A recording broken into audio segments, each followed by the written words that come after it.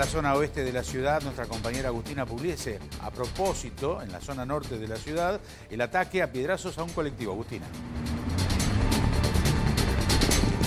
Sí, Alberto, atacaron un colectivo de la línea 103 Roja en la zona de Giraldo y Casiano Casas. Nosotros ahora estamos Casiano Casas al 2000 frente a la comisaría 30 porque hace menos de cinco minutos que se acaban de llevar el micro, le, ingresó eh, un piedrazo por, en primera instancia en, una de las ventanillas del lado derecho y después del lado izquierdo. De los dos lados atacaron.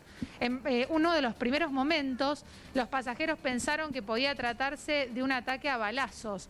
Pero no, después el personal policial que se dirigió al lugar inmediatamente, porque la comisaría está a siete cuadras de donde fue el ataque, terminaron corroborando de que había restos de piedra en los asientos, por lo tanto podemos hablar de un ataque a piedrazos. No saben ni quiénes fueron, no detuvieron a nadie, pero sí el gran susto fue por parte de los pasajeros, porque ¿sabes cuál es el agravante, Alberto? Que en la misma ventanilla donde ingresaron las piedras, en la parada anterior a que ocurra lo que estamos relatando, se habían bajado dos pasajeros que estaban sentados ahí.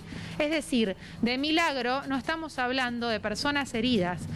únicamente son daños materiales, se reventaron las dos ventanillas, una de cada lado, pero fue lo único que pasó. Por fortuna, porque te reitero, los pasajeros que estaban sentados en el lugar se bajaron una parada antes. Hace cinco minutos, cuando eh, terminó el colectivo, el chofer que no quiso hablar dijo que no tenía autorización, que lo único que iba a decir es que estaban todos en buen estado de salud y que había sido solo un gran susto. También nos dijeron lo mismo por parte de la comisaría, que no podían hablar, dar declaraciones a la prensa. Nosotros somos el único medio que estamos acá hasta ahora, pero sí nos confirmaban que se trató de un ataque a piedrazos. Vandalismo hubo siempre, siempre.